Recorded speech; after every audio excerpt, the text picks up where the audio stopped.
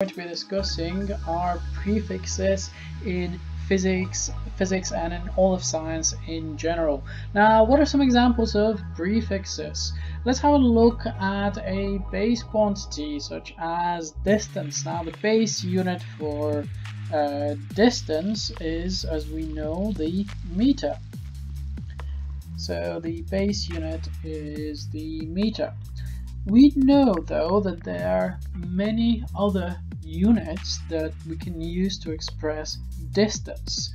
Some of those just have an added prefix in front of the meter. For example, we have the kilometer, so that's a thousand meters, so 10 to the power 3 meters. If we're looking at something really small, such as nanotechnology, we can have the nanometer. If we have a centimeter ruler, we're going to be using well, the centimeter. If we look at even smaller things, the minimum that we can normally measure with a typical ruler, this is just a millimeter. Now, all of those prefixes actually have a precise mathematical value. This is what we're going to be looking at in today's lesson. But just before we look into that, let's have a look at why are prefixes so important? Why are they some of the fundamentals of science and the fundamental of fundamentals of physics in particular? Why are prefixes so important? Physics studies both the incredibly large and the incredibly small, I found this brilliant visualization called the scale of the universe. You can find that on the scaleoftheuniverse.com and you can play around with it. Let's have a look. So the vast majority of our human existence is based on things that are of the order of approximately 10 meters. So uh, we can see that on this scale, when the length, the lower part of the screen is, is 10 meters, this is what a human would look like, this is what a beach ball would look like, etc. and other everyday objects.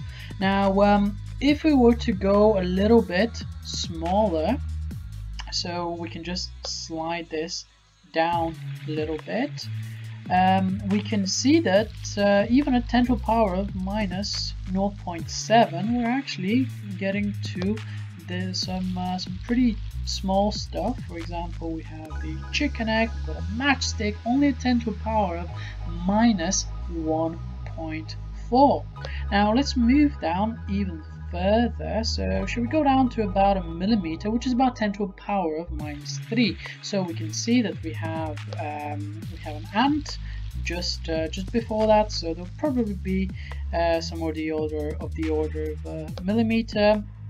We've got a grain of salt even further down. Now as we slide this even further shall we go to a micrometer which is about 10 to the power of minus 6 so just as we approach that, we're starting to see some really small stuff. So we can see some chromosomes over here. And on this scale, on the scale of uh, about a micrometer, just above that, we can see the red light wavelength or the violet light wavelength, the two extreme in the, in the visible uh, spectrum.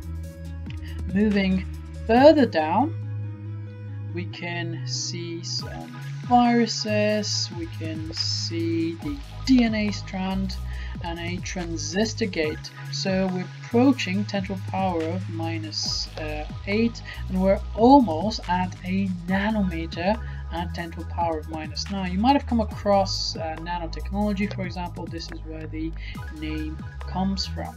10 to the power of minus 9. Now this here we can just about see an atom. So at about 10 to the power of minus 10, this is more or less the average size um, of, a, of, a, Fu atom at uh, 10 to the power of minus 10. Moving even further down, uh, we can see some examples of atoms. You can see the hydrogen atom, the helium atom. Once again, these diagrams are not up to scale. The uh, distance between the um, between the nucleus and the orbiting electrons is not up to scale. Of course, uh, these are this is not a quantum mechanical way to represent objects. However, what I'm trying to appreciate here is the sheer size. So 10 to the power of minus 10, uh, moving even further down we can see there's quite a lot of empty space before we start moving into the uh, nucleus. And we're going to be studying the nucleus in great detail in the second year of A-level physics. When we look at nuclear physics we're going to see how um, nuclear fission and fusion work to in many different nuclear reactions. Of course, we can go the other way as well. So we can go back to the human scale, or approximately human scale, and we can move upwards into some uh, pretty large objects. For example, if I was to move to 10 to the power of 3, I can already fit in the screen uh, the tallest building in the world, Burj Khalifa. You can also see uh, the uh, Angels Falls in Venezuela, which is the um, largest freestanding waterfall in, uh, in, the world. Moving, moving upwards, we can see we can see Mount Everest at only 10 to the power 4. So even further, we quickly get into a planetary scale, uh, which is um, which is pretty amazing. Uh, the whole of the Minecraft world find that pretty amusing got Saturn over there, and about 10 to the power of 9, uh, we can see the, uh, the, the size of the Sun and some other similar stars. So, hopefully we can appreciate why we really need those prefixes. Once again, physics studies the very very small and the very very large. Now what we're going to try to look at is a mathematical way of expressing all of those prefixes. What does it actually mean if we say that a, um, a certain object is let's say 7.2 nanometers long? What does that mean mathematically? Let's try and answer those questions next okay folks well let's have a look at the mathematical factor behind each of those prefixes shall we start with the prefixes that indicate larger quantities. So if I have a kilogram, that's actually a thousand grams. If I have a kilometer, that's actually a thousand meters. So the factor behind it is actually 10 to the power of 3. Mega is 10 to the power of 6 a megameter is going to be 10 to the power of 6 meters. Giga, 10 to the power of 9. So gigabyte would be 10 to the power of 9 bytes. Tera is 10 to the power of 12. So a lot of those tend to go up in steps of 3. And let's have a look at the prefixes indicating a smaller quantity. Starting with deci, that will be 10 to the power of minus 1. Moving on to centi, very uh, popular one, 10 to the power of minus 2. So a centimeter is 10 to the power of minus 2 meters. A millimeter, 10 to the power of minus 3. Micro actually stands for 10 to the power of minus 6. Nano, 10 to the power of minus 9. And pico would be 10 to the power of minus 12.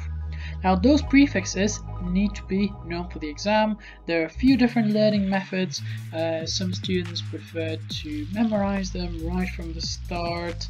Uh, there are different ways that you can you can do that. However, we're going to be doing so many problems throughout the physics course that naturally we're going to get used to using these prefixes all the time.